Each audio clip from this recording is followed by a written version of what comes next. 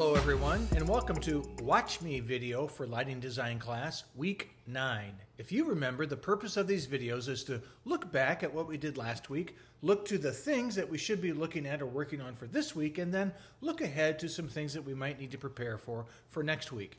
So what did we do last week? Well, in week 8, we did a field trip with Lanny.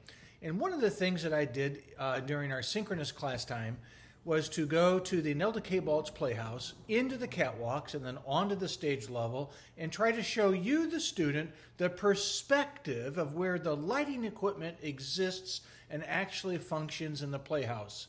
And then I went on to the stage deck, and because we had a lot of atmospheric haze in the air, was able to show you what different beam spreads do upon the stage floor. And if you recall, I said that if you uh, if you work about two catwalks back and use a 26 degree ellipsoidal um, at about a 30 to 40 degree angle coming into the stage, that's a really great place for light.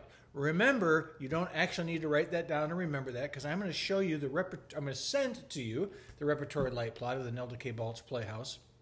Um, so you can see that. But hopefully, that was kind of a fun day because you were able to see what different beams of light do in the space on the stage floor. So a 19 degree light, you know, made a six foot circle, uh, and a 26 degree light made a 11 foot circle, et cetera, et cetera, et cetera. And you got to see kind of what those look like.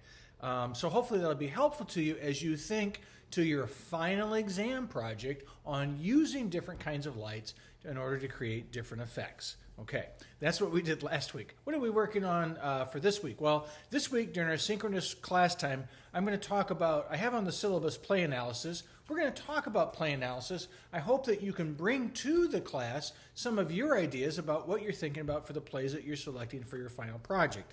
The second thing that uh, we should be working on for this week is I want you to select what play you're actually going to use for your final exam this week okay?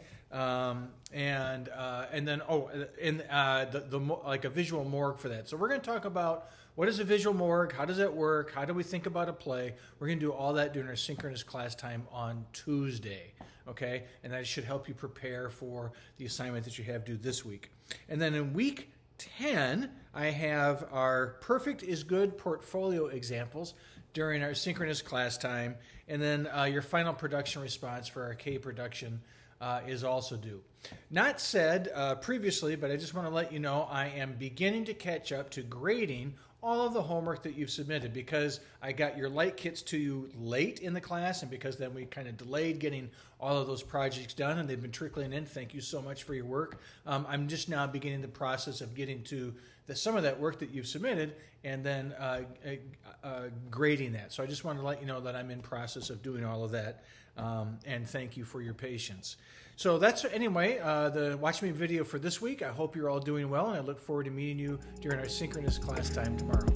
See you soon.